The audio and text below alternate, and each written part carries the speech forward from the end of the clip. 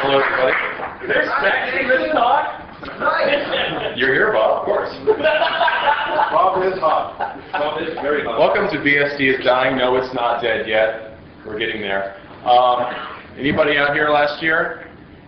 Okay, I have a really bad talk on PF, and I appreciate Bob coming out and correcting me this year. So, anyways, we should go ahead and get started. Um, BSD is dying. What is BSD? Well, I think most of us know BSD is a derivative of Unix. Okay, well, what is Unix? Um, Unix is a operating system. Um, what is an operating system? Uh, well, it, uh, it, it runs computers. But what's the computer? Um, it helps you. What what's the user? Okay, well, a user is uh, typically a biped that stands upright, sort of like me. Um, Stand up right here. Smart one. who am I? Uh, my name is Jason Dixon. I, first and foremost, a sysadmin. I like to work on networks, firewalls. I like to tweak. No. Yes. Uh, I'm a programmer, sort of. I enjoy Perl, uh, Postgres, on Apache servers.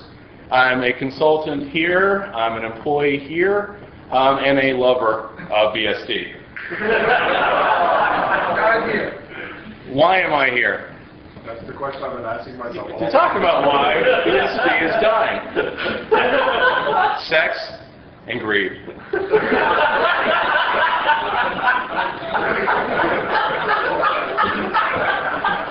Someone kick these guys out.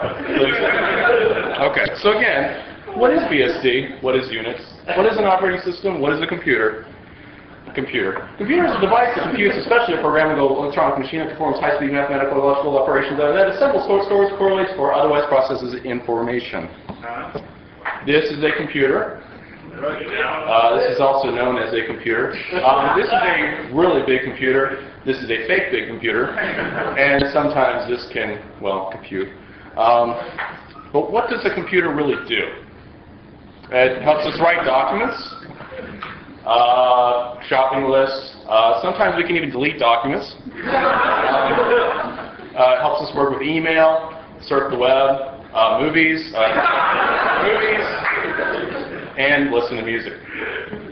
Oh, and yes, games. Uh, how? How does a computer let us do these things?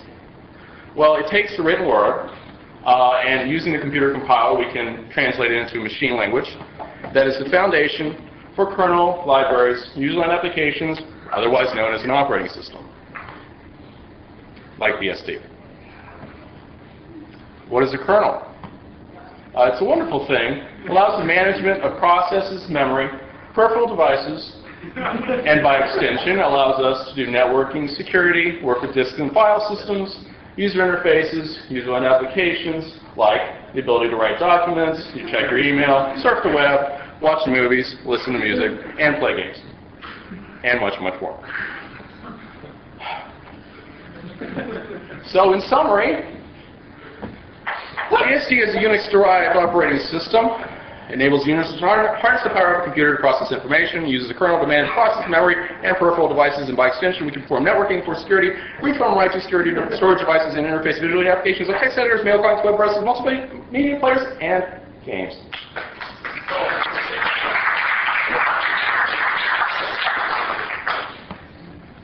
In the beginning, I'm going to try and breeze through these people. Uh, the Holy Trinity, MIT, Bell Labs, and GE created a system called Multics. Uh, and this is a nice flash from the past. Um, life was good. No, no, actually it wasn't. Multics was a commercial failure. Um, so a couple of gentlemen, like Ken Thompson and Dennis Ritchie, who were not responsible for it, like to play games. Um, they worked at Bell Labs, and they had this game called Space Travel, which performed really, really badly.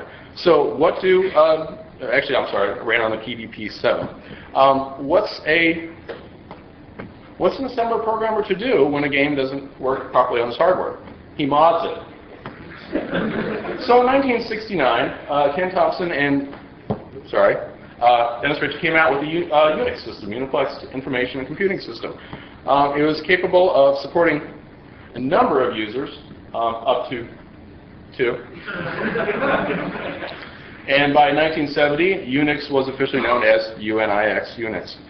Uh, it ran on a PDP 1145 um, and was capable of text processing and had utilities like ROF and a text editor for the purpose of patents. By 1973, they rewrote Unix in a portable language called uh, C, which uh, allowed AT&T to make the source code available to let other people run it on their systems. By 1974, a gentleman by the name of Bob Fabry, who was at the University of Cal Berkeley in their computer science department, bought a copy of Unix for $99 to run on their PDP-11. By 1977, a gentleman named Bill, Bill Joy, a uh, graduate student, distributed the Berkeley software distribution uh, as one BSD. Uh, it was on a uh, media, tape media, con- uh, contained the Pascal compiler, the ex editor, and by 1978 was known as 2BSD with by C shell, and the list goes on. Um, by 4BSD, we had job control, uh, delivermail, precursor to sendmail, uh, curses libraries by 1981, 4.1 BSD. Uh, we, at this point, we already ported it to VAX. Uh, 4.1 BSD addressed a number of performance issues with Unix on the VAX. 1983, 4.2 BSD introduced TCP/IP from BBN, and also the Berkeley Fast File System from a gentleman, uh, Kirk McKusick, uh, who also brought us the original BSD data. In 1986, 4.3 BSD introduced performance improvements over 4.2 BSD. By 1988, we had a release called 4.3 BSD Tahoe, originally intended to run on the Power 632 Tahoe platform. Um, that platform actually never came to fruition, but it did allow us to uh, abstract some of the machine-dependent code, which allowed it to become portable much later on. Um, by 1989, there was Net1, which separated the networking code from the AT&T Unix code, allowing for a permissive BSD license. By 1990, 4.3 BSD Reno uh, introduced a Mach virtual files, uh, Mach virtual memory system, Sun compatible NFS. Um, however, uh, it was known as a real um, gamble, hence the Reno moniker. Um, by 1991, we had Net2, where all AT&T code and utilities were replaced or removed. Uh, it ran on the Intel 8036, 386, and became the basis for the 386 BSD and BSD 386 releases. A gentleman by the name of Bill Jolitz, behind the 386 BSD release, which eventually became the, the foundation for FreeBSD and NetBSD, um, and the uh, BSD 3, I'm sorry, the 386 BSD, which later on became uh, BSDOS, was by BSDI. Exodus. Uh, back in 19, 1992, um, a uh, wholly owned subsidiary of AT&T called Unix System Laboratories decided to go after um, BSDI for, uh, sorry, uh, I'm sorry, in New Jersey, um, asked for an injunction against them uh, due to their use of what they considered pro- proprietary code and the BSD. Um, this was one of their advertising things. Again, they used this as the basis for the lawsuit. Um, I have no idea what that's for. Uh, Net2 uh, was basically, I'm sorry, the three BSDI's version of BSDOS was basically Net2 plus six files that they had merged in from Bill Jolitz's 386 BSD. Um, the lawsuit was, uh, uh, I'm sorry, the, the court settlement was ruled over by a judge uh, who denied the injunction and asked them to narrow their complaint to recent copyrights and the possibility of the loss of trade secrets. Um, he also did a really great thing for BSD is that he hinted that um, uh, actually by this point University of California Berkeley had been uh, also added into the lawsuit. Well, he gave a hint that they should take this to a state court. Well, so BSD lawyers were pretty smart over at Cal, and they decided to make a run over to the state court by the next Monday um, to file a countersuit against uh, USL in the state of California. Uh, soon after, USL went up for sale and uh, was bought by Novell. Uh, the gentleman, uh, Ray Noorda, uh, the CEO at Novell, uh, agreed to a settlement at this point because they understood that there was no copyright infringement or uh, in the code. So basically, the uh, lawsuit was settled out of court in secret for um, 10 years. In, in 2004, a site Grok which we're probably familiar with, found what the actual settlement um, was and released it. And, well, USL, AT&T, and Novell sort of had, uh, was embarrassed. Um, which ended up resulting in two uh, distinct releases. 4.4 BSD, there was an encumbered version that had the USL license and the AT&T code, and 4.4 BSD Lite, which was completely unencumbered, and became um, the foundation for FreeBSD, NetBSD, uh, sorry, FreeBSD, uh, kind of jumped ahead there. FreeBSD, uh, just give a little background on the different BSDs that came out of 386 BSD. Uh, it runs on Intel x86, Itanium, AMD 64, Alpha, Sun UltraSPARC, and it gives us some neat features, um, jail, which most of us are familiar with, um, access control list, MAC, and uh, historically has had very strong TCP/IP and SMP performance. Uh, the original NetBSD, which also came from 386 BSD,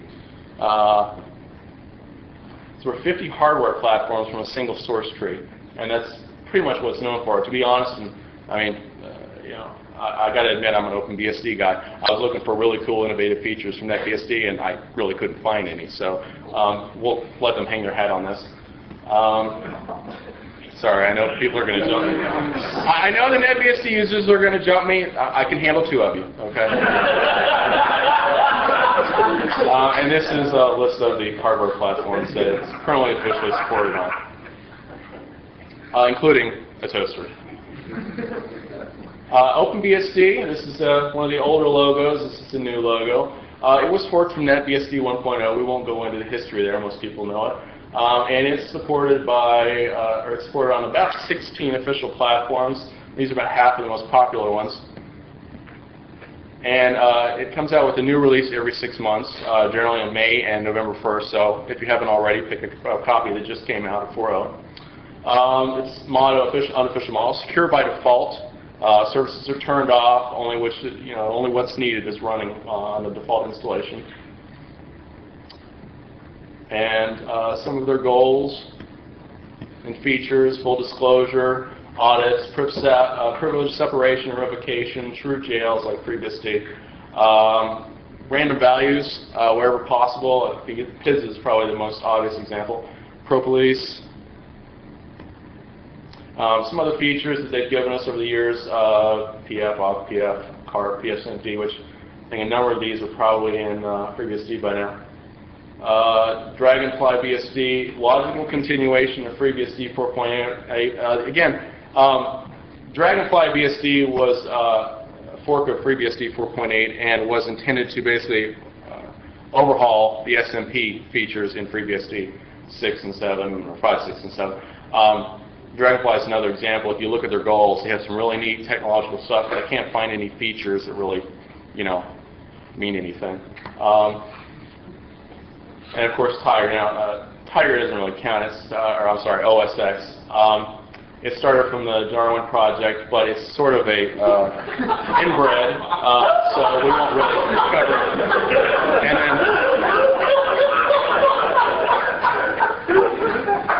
and then various others, MirBSD, PicoBSD, uh, any number of other minor BSDs that are forked off.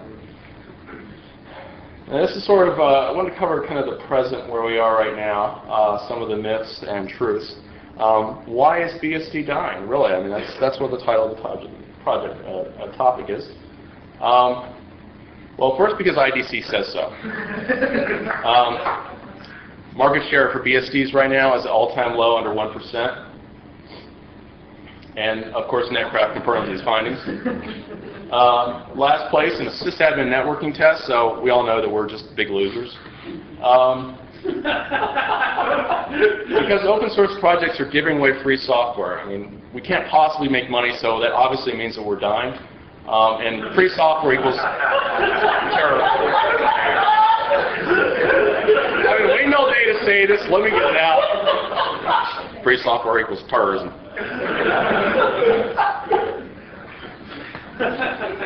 Our inability to adapt Uh, as you can see by this graph, the number of AS...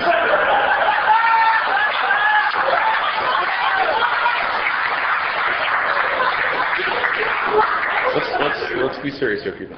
Um, number of ASP net per pages per hour. So we see Windows, obviously, I mean, they're, they're way ahead, people. Come on, they've been doing this for a number, of, what, 20, 15, 20 years.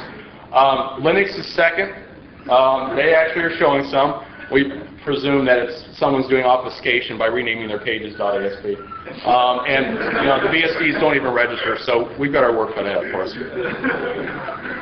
Loss of talent. FreeBSD has lost 93% of their core developers. Okay, come on, guys. Let's go. But not all is lost. Fortunately, a few very small companies still use BSD in this age.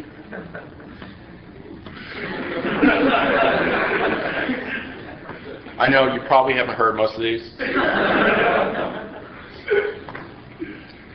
Believe it or not, this is our this is our premier sponsor and some other company that didn't sponsor us.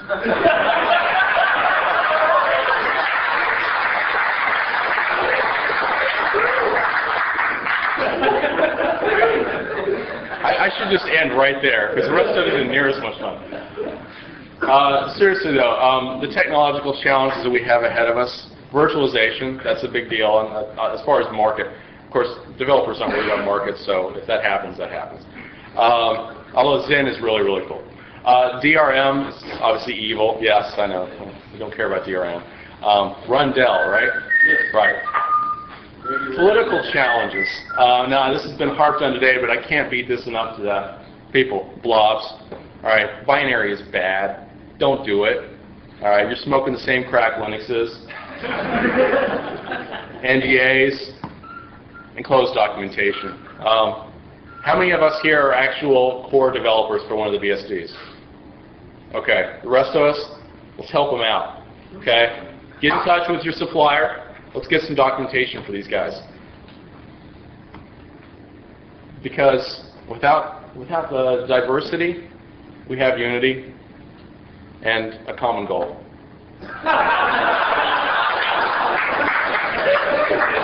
Thank you.